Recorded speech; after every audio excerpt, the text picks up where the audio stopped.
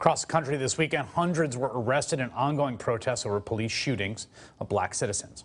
Largely peaceful protesters blocked roadways in several cities, including Philando Castile was fatally shot by a police officer in a suburb of St. Paul last Wednesday.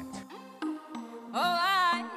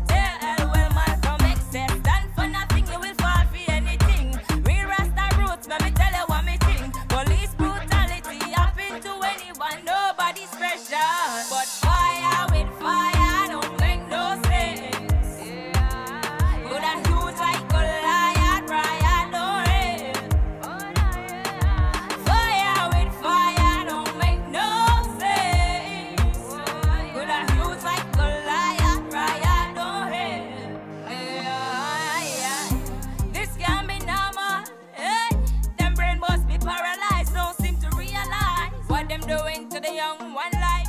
Black is beautiful, get over.